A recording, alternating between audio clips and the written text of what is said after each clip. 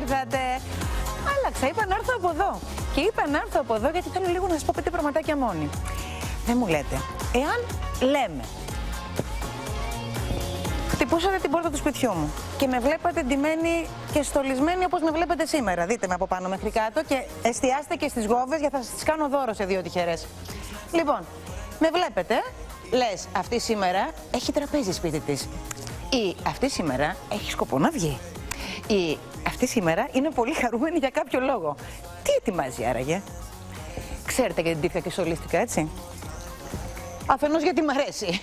Αφετέρου όμως γιατί θέλω να σας δείξω πώς σήμερα με ένα πολύ εύκολο και γρήγορο τρόπο θα σας κάνω να χαλαρώσετε, να κάνετε χαλαρές βραδιές με φίλους ντυμένες υπερθέαμα, χωρίς να λερωθείτε και βγαίνοντας και ασπροπρόσωπες ότι μαγείρεψε γύρω και λάμπει από πάνω μέχρι κάτω.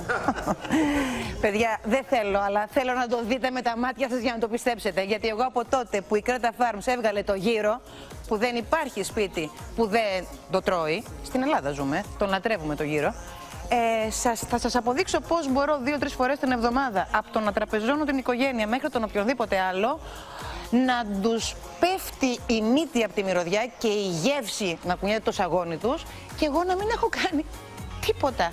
Δεν χαλάει ούτε μακιγιάζ, ούτε μαλλί, ούτε εμφάνιση, ούτε λάδια, ούτε τίποτα.